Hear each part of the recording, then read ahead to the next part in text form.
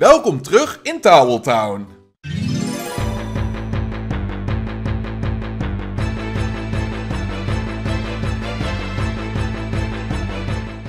Dankjewel. Oh, ze waren een beetje, ja, ze voelden zich niet op het gemak in het begin, maar eh, ik denk dat ze wel, eh, ja, tot ze hier wel goed voelen. Er is geen... eh, nee, je hoeft me niet te bedanken. Je hebt ons allemaal een eh, goed, grote dienst bewezen. Het was niet veel, het was een kleinigheidje. Nou, in ieder geval, iedereen zal wel in orde zijn. Weet je zeker dat het oké is als ze hier blijven? Natuurlijk. Het is eh, de Taulus idee, dus eh, ja. Ja. Hij wou dat de Genomes zijn eh, leven konden starten en het leek zijn beste hier. We zijn gelijk in heel veel wegen.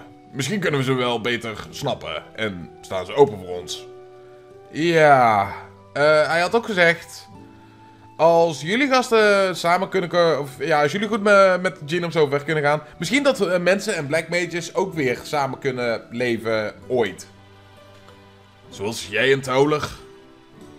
ik wist nog niet eens dat ik hem echt eh, begreep, maar nu begrijp ik hem helemaal. We zullen goed voor zorgen voor vrienden. En jouw vrienden zijn mijn vrienden. En mijn vrienden zijn jouw vrienden. Ja, dankjewel. Dankjewel. Het is braaf. Goedemiddag iedereen en welkom terug bij een nieuwe aflevering van Let's Play Final Fantasy 9. We zijn gewoon weer hier weer begonnen, want dit is eh, deel 4. En blijkbaar hebben we de genomes gebracht naar Toweltown. Omdat ze daar dan rustig hun leven kunnen starten. Is dit een monster? Dat is een chocobo, niet monster. Hij heet Bobo Corin. Oh, je hebt hem een naam gegeven! Ja, Bobo Corin, is het niet een geweldige naam? Klinkt geweldig! Bobby Corin! Hij klinkt een beetje als Leroy, maar dat zal wel bijzaak zijn. Huh? Ik denk dat Bobo Corin je leuk vindt. Hij bijt toch niet? Oh, kom op! Het is maar een kleine baby chocobo! Ehm, nee. Bobby Corin, nee, kom terug hier. Wow, ik denk dat Bobby Corin echt onze nieuwe vriend leuk vindt. Kun je hem niet gewoon noemen bij zijn eerste naam? Gewoon Bobby. En er zit een kat op de schutting. ik weet niet wat hij daar aan het doen is. Jongens, geef me even een seconde. Oké, buur- bleek de kat van de buren te zijn die over de schutting was gekomen. En ja, die had moeite mee omdraaien. Maar goed, alles is goed gekomen. Goed, verder met de aflevering. Waar was ik? Oh ja. Waarom laat je deze dingen zien? Ehm, waarom? Voor de klanten, denk ik. Wat zijn klanten? Oh, hun brengen geld en geven geld en dan kunnen hun... Wat is geld? Geld is, eh... Waarom zoveel dingen doen over kleine dingen? Wereld is heel simpel. Wereld heeft twee dingen. Dingen die je kan eten en dingen die je niet kan eten. Ehm, ja. Blijft het water hier ooit stilstaan? Hm? Water. Nee, water vloeit. Of niet dan? Maar het water van Bral was altijd stil. Hé, hey, wist je niet dat eh, tijd vliegt net zoals water kan stromen? Dus water en tijd eh, vloeien allebei in Gaia? Ja, het lijkt erop als we wel een goede start hebben. Het is net alsof dat je naar kinderen zit te kijken die aan het spelen zijn. Het is niet hun schuld. Ze zijn alleen maar net begonnen met hun leven. Kan verloren tijd dan hersteld worden? Ik weet het niet. Maar er is maar één ding dat we kunnen doen. Ja, natuurlijk. We moeten ze proberen te beschermen van iedereen die proberen hun tijd weg probeert te nemen. Die stemmen allemaal, zeg verdorie. Prinses, is dit echt wat je wenst? Waar heb je het over? Kuja moet iets geve- verschrikkelijks hebben gedaan in de Life om de wereld eh, eh, helemaal omgooien in mist. Denk je niet dat we Regent City hier eh, moeten vragen om hulp voor de final battle? Kuja heeft waarschijnlijk plannen om heel Gaia te verslaan. Als ik naar Limblum nu ga en vertel dat er eh, de regent had verteld, kan het misschien een paniek veroorzaken. Ik weet zeker dat iedereen er, eh, ja, dat iedereen wel de mist heeft gezien. En ik weet dat Uncle Sid bezig is met uh, Limblum te beschermen. Ja, je hebt gelijk. We moeten de vijand verslaan. Zelf. Zelfs als we terug zullen gaan naar Limblum, en om, eh, eh, ja, om goed re-equipped te kunnen raken. Vertel Uncle Sid niet over onze plannen. Zijn we klaar? Ja, laten we gaan. Je hebt geen kans. Je hebt Kutja's kracht gezien. Hij heeft een hele wereld vernietigd bij zichzelf. Je hebt nog niet eens een miljoen in één kans om hem te verslaan. Jullie zullen allemaal sterven. Nou, dat is een motivatie. Wow, dit meisje weet heel veel moeilijke woorden. Of niet? Ze is eh, een beetje cynical, weet je wel, maar... eh Zorg goed voor haar, oké?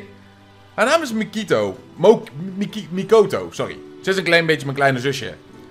Wat? Mikoto, luister naar je grote broer en maak wat vriendjes. Hoe dom? We mogen misschien wel... eh ja... ang- eh, desperate, kom op. Weet wat desperate is. You're so desperate. We mogen misschien wel wanhopige insecten zijn, wanhopig, dank je. Nou, voor Kuja. Maar we zullen laten zien hoe krachtig dat wij kunnen zijn. Zelfs een vlieg leeft voor een dag. Ehm, ik denk niet dat dat is wat Sepie bedoelt. Laten we gaan naar de Life Tree. We zullen Kuja niet zijn weggeven. Dat is zeker een heel goed idee. Nou, ehm, de partymembers die ik dan altijd zeg maar weer bij me heb. Ik heb jullie al een beetje mijn favoriete partyteam laten zien. En ja, die wil ik dus zeg maar hier ook dolgraag bij gaan gebruiken. Dus dit is ons team die we weer gaan gebruiken. En je start automatisch bij de Invincible. Hef, Deurie. Geef me even een seconde alsjeblieft. Oké, sorry daarvoor. Maar goed, we hebben dus zeg maar nou de eh, airship. Oftewel de, ja, de Invisible. En die werkt eigenlijk praktisch precies hetzelfde als hoe dat de Hilde Garde werkt. Op driehoekje kom je dus zeg maar in het schip zelf terecht. Kun je partymembers switchen, mocht je dat willen. Willen we een, eh, ja, eh, willen we ergens naartoe vliegen, dan moeten we weer op het middenstip gaan staan. Maar er is één ding wat nou heel erg belangrijk is, dat we hier te pakken gaan krijgen. En dat is over hier, namelijk de pieces. Dat is het laatste stukje van de Stellala co coins, die we dus te pakken kunnen krijgen. Nou is er een heleboel veranderd in de world map. Er zijn namelijk een heleboel plekken waar we niet meer naartoe kunnen gaan. Ehm, om eventjes een snel voorbeeld te geven. Weten jullie nog dat ik had gezegd dat je daar echt die staf moet kopen? Omdat als je die niet zou kopen, dat je dan zeg maar hem niet meer zou kunnen vinden. Nou, als we nou zeg maar naar Esto Gaza toe gaan. En we vliegen daar nou naartoe. Je ziet dus zeg maar, er is weer overal mist. De Life Tree heeft nou een gigantische powerball eh, boven zijn hoofd hangen. En de muziek is veranderd. Niet meer de catchy muziek helaas. Het is nou echt best wel een treurig zooitje. Maar dan zie je dat daar dus zeg maar een soort van boomwortel omheen zit. Er is geen manier meer om daar terug naar binnen te komen. En zo zijn er heel veel dorpjes eigenlijk afgesloten. Nou, voordat ik eigenlijk dus zeg maar de grote shop wil gaan doen, zijn er sowieso de Chocobo Treasures die dus nou open zijn gegaan. Hier bij eh, Shimmering Island, waar dus zeg maar Shimmering Island is geweest. Eh, daar zit dus zeg maar één zo'n treasure. En er zitten nog drie andere ergens eh, verborgen op het water. Dus daar willen we zeker naartoe gaan. Eh, maar het eerste wat ik wil gaan doen is eventjes terug naar Treno, aangezien dat we nou de pieces hebben. Dus ik zie jullie in Treno. Oké, in Treno aangekomen. Is het nou heel eventjes de bedoeling dat wij dus zeg maar weer naar dat eh vrouwke toe gaan eh, die, ehm, zeg maar, eh, die, die, die coins verzamelt. En aangezien dat er dus zeg maar 12 te zijn... Oh, aangezien dat er dus zeg maar 12 te vinden zijn in de hele wereld en we nou dus zeg maar het 12e stukje hebben... Moeten we dus de sidequest nou compleet hebben of niet? Dan zullen we er zeg maar een gigantische reward voor kunnen krijgen. Tenminste, dat hoop ik wel. Dat zou ik heel erg teleurgesteld zijn. Dus, dan willen we hier naartoe. Hallo, mag ik heel even... Oh, waarom loopt iedereen zo de weg? Er is trouwens bij de veiling niet echt iets nieuws. We kunnen wel weer een beest gaan verslaan, maar daar heb ik echt weinig zin in. Goed, hallo. Ja, we hebben de pieces. Wat krijgen we ervoor?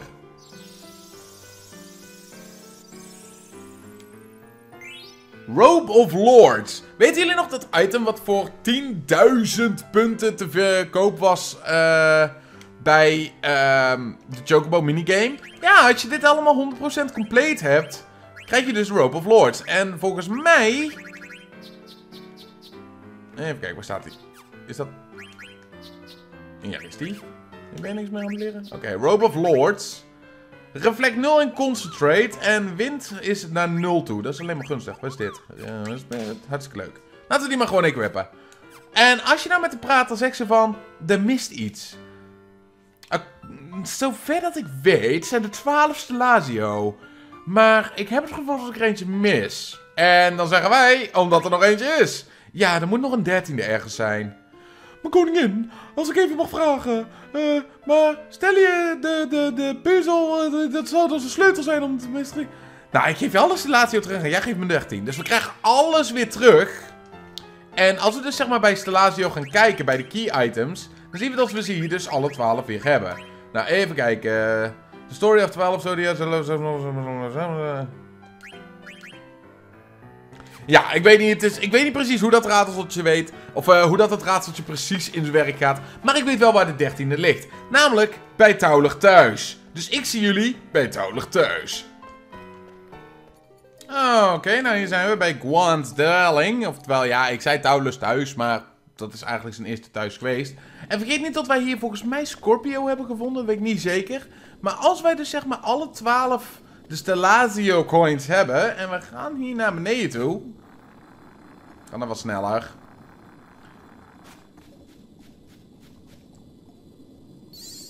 Even HP en MP verstoren. Of herstoren. Dan vinden we hier. Hey. Er zit hier iets onder waar de Scorpio eigenlijk eerst lag. En daar vinden we de Opficus. We hebben Scorpio en Virgo net gesparkeld in mijn handen. Oh. Oké. Nou, en dan willen we dus zeg maar weer terug naar de Bird Lady in Treno. Wat een op- en neergeloop. Voordat ik het jullie vergeet te vertellen, voordat je de hele wereld af gaat zoeken. Jullie weten tot Gwen's Dwelling daarachter zit, hè. Dus, eh, het is heel dichtbij Treno. Daarom is het heel makkelijk om dit gewoon te vinden. Maar, eh, de Treno-puzzel, zover ik weet, is zeg maar van, er wordt een volgorde verteld. En als laatste kom je bij Scorpio uit. Dus dan wil je terug naar de plek waar Scorpio heeft gelegen. En dan kom je hem tegen. Zo, zo werkt het een beetje dat raadsel. Tenminste, zover ik weet. Dus ja, sorry dat ik daar een beetje zo snel overheen ging. Maar ik heb geen zin om alles te moeten gaan lezen. Aangezien dat ik het allemaal weet. En ik denk dat deze let's play al lang genoeg heeft geduurd. Dus ik wil wel er een beetje vaart in zetten. Dus, eh, net zoals de Chocobo minigame. Er zijn nog maar een paar dingen die we daar kunnen doen. Dus, eh, maar goed, we hebben hem gevonden. Dus wat krijg ik ervoor? Yep. Oh, je hebt ze geleend. Hoppakee. Oh, dan moeten we even de animatie tot ze allemaal terugkomen. Ik ben benieuwd of we- als het weer een Rosetta ring is, ga ik gillen.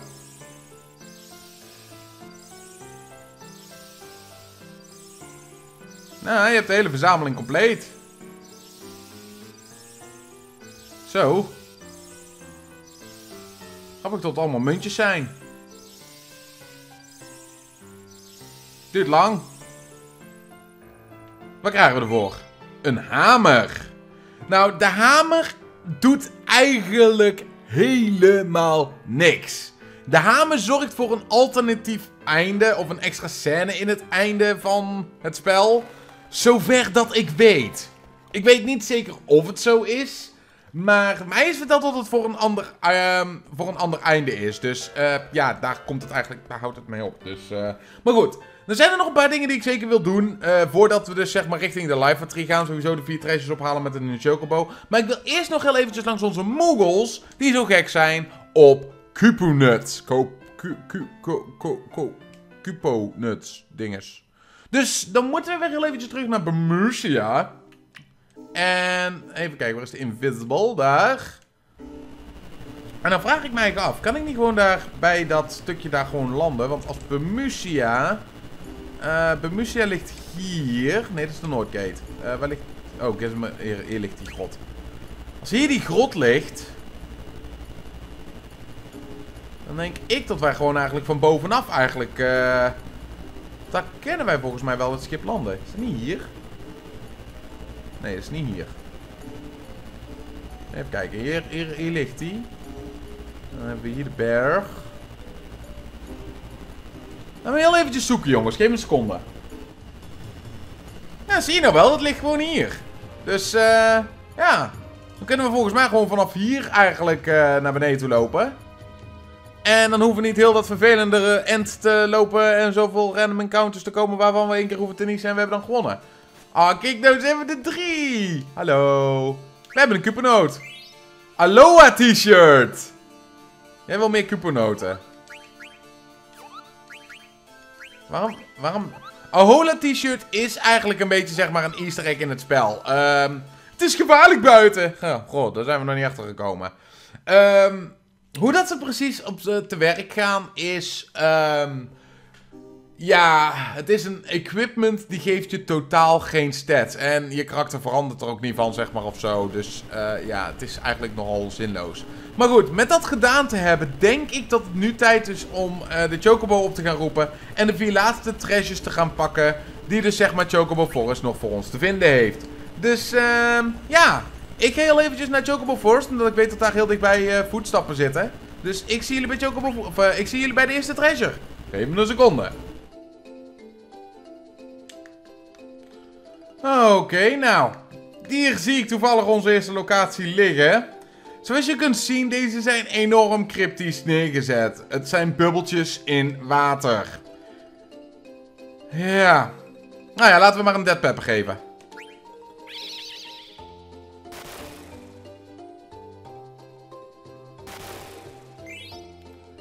Oké, acht strohoedjes, Pearl Helmet, 7 Aloha t-shirts, 8 sandals en dat was het. Dit zijn allemaal die easter egg items zeg maar, die kun je iedereen equippen en geeft totaal geen stat. Sommigen die gebruikten het voor challenges om daarmee de game uit te spelen. Maar volgens mij hebben ze geen ander doel in het spel. Maar goed, op naar de volgende locatie. Deze is behoorlijk moeilijk te vinden. Het zit hier eigenlijk precies tussen deze twee... Ja, als je dit, dat ding eigenlijk een beetje volgt. Echt recht midden bovenin, daar zit hij gewoon verborgen. Damn, deze is moeilijk te vinden. Maar goed, laat de reward alsjeblieft het waard zijn.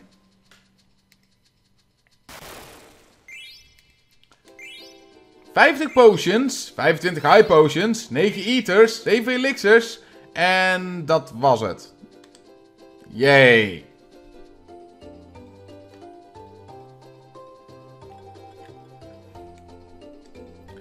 Oké, de volgende die zit hier op de kaart. Eh, Tussen dit kleine dingetje wil je door eh, wormen. En daar willen we Dead Pepper voeren. Dat is praktisch wat we hier willen doen. Goed. Is deze treasure het waard? 10 remedies. 1 black robe, dat is gunstig. Genji gloves. En blue narcissus card. En alles wat kaarten die we over de 100 hadden, die zijn we nou kwijt. Nou, maakt mij niet zoveel uit. Goed. Ehm, dat wil dus zeggen dat we de Blue Narcissus kaart niet meer hebben, omdat we hebben dus zeg maar over de 100 kaarten. Ehm, goed, nou is er nog één locatie waar we dus zeg maar nog een treasure kunnen vinden. Het enige probleem is, deze locatie kun je niet zien. Ik breng jullie er naartoe.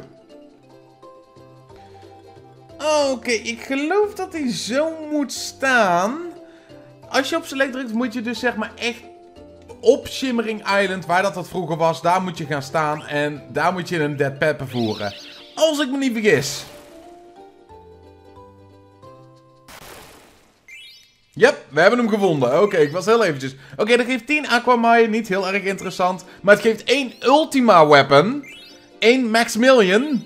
En 1 Invisible Card die we niet krijgen, want uh, ja, we hebben maar kaarten boeiden ons sowieso niet. Maar dit is de rarest treasure die er dus zeg maar op het spel te vinden is. En met dat wil ik het denk ik eigenlijk wel een beetje gaan laten. Uh, voor de grap zou ik wel natuurlijk laten zien hoe dat die items, uh, wat ze precies doen. Dus ik weet niet voor wie dat de Maximilian is. Laat ik eens even kijken bij items. Nou, de Ultima Weapon, die is dus zeg maar voor Zepi. En de Maximilian is uh, voor uh, Leroy, maar ja, die hebben we nou helaas niet in ons team zitten. Dus, nou ja, laten we eens even kijken hoeveel damage dat hij zal doen. Ultima Weapon. Geeft ons Flea en 100 damage. Wow, dat is nogal. Dus zeker heel erg OP. Maar goed, bij, voordat wil. Ja, bij dit wil ik het eigenlijk dus laten. Um, voordat we de live entry ingaan, zijn er nog een paar kleine dingetjes die we moeten doen. Uh, sowieso, we hebben nog die secret boss die op zit te wachten. Maar daarvoor moeten we eerst bij de live entry voor zijn geweest. En als ik me niet vergis, hebben we ook nog... Um, tot we dus zeg maar naar Chocobo Paradise kunnen gaan. Maar die zit niet op de kaart. Dus die kunnen we op de kaart niet vinden. Maar misschien dat we die wel kunnen vinden door een slimme truc. En Mognet Zetrol, even daar even hooi zeggen hoe dat, dat daar misschien gaat. Dus, heb je nog vragen over deze aflevering? Laat het weten in de reacties als je daar tijd voor hebt. Laat like achter als je daar tijd voor hebt. En ik hoop jullie morgen allemaal te zien bij de volgende aflevering van Let's Play Final Fantasy 9. Bedankt voor het kijken jongens en tot morgen. day.